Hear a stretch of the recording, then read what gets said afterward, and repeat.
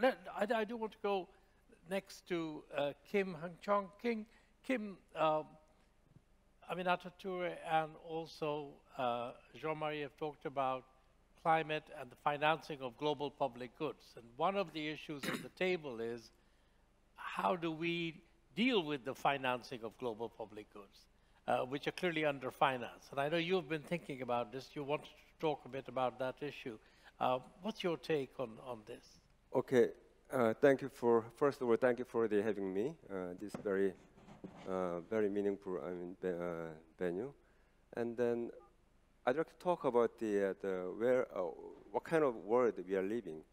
Because the, now uh, I was in, in Moscow the last week of the, uh, the October, and I was surrounded by the, the many scholars who have quite a very quite a different uh, way of thinking compared to the, the participants here.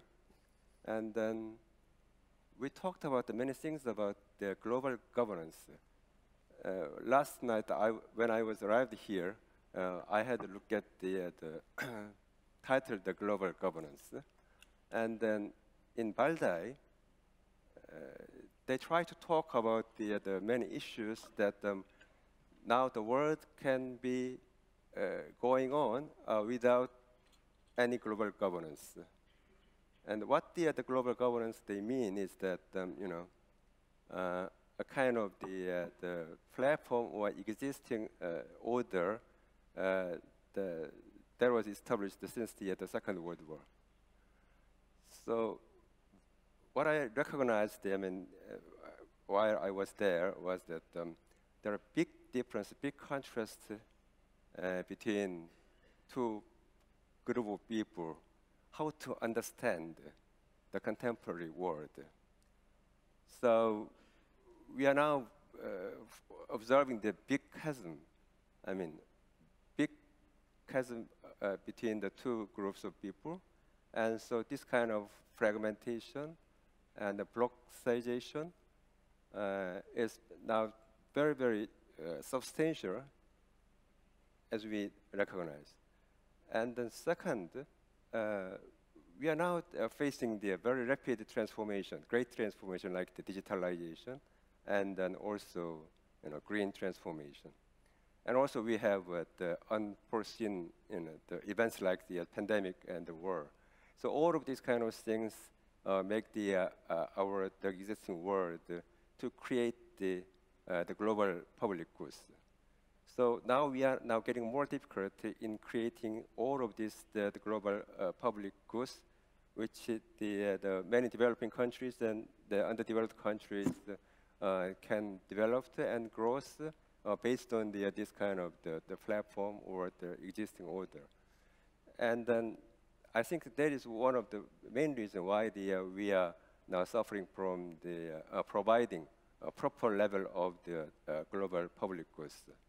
So uh, when it comes to the international development or uh, overseas development assistance, also we are now combating uh, the poverty and then global health crisis and also digitalize, the side effect of digitalization, also the climate crisis, all of things uh, can be contributing to the, uh, uh, the big change of the structure of the ODA now. And this can uh, be, uh, on the one thing, I mean, this is the kind of the, uh, the now the supporting the widening, I mean, the, the income disparities among the peoples, uh, but also it can contribute to the creating uh, global public goods in terms of the, uh, the ODA ramification. So I think that now the, uh, we are now facing in a moment of the, the Uh, revolutionizing our structure of the, uh, the ODA uh, towards the, the new direction of the, the providing more global public goods through the digitalization, through the climate uh, crisis, combating against the climate crisis, and then, and then digitalization and then green uh, uh, technology. Many people would think that um, the, what's, what's the problem with the digitalization?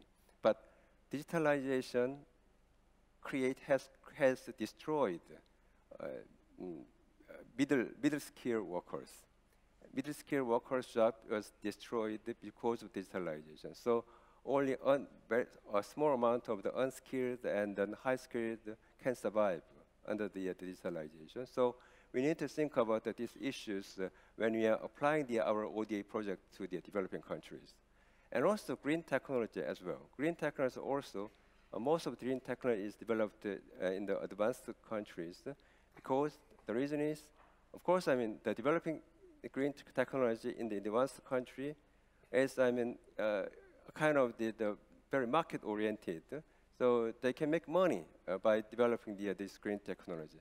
But that kind of environment cannot be provided in the, uh, the least uh, developed countries. So all of these kind of big changes, uh, together with the, the pandemic and then the war and bipolarization, all of things are a target for the, the ODA.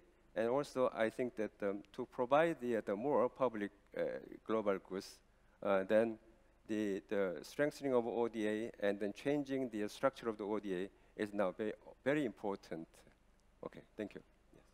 Thank you very much, uh, and thank you for uh, bringing the question of the uh, development assistance, ODA, and how it's being used now.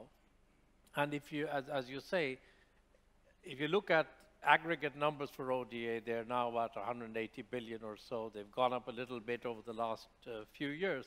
But most of this increase is accounted for by increase in humanitarian assistance and by increase in including the financing of refugees inside the country that is providing the assistance. So the largest recipient of Swedish ODA today is Sweden the largest recipient of UK ODA today is the UK, because that is where they're spending the largest share of their overseas assistance right now. Um,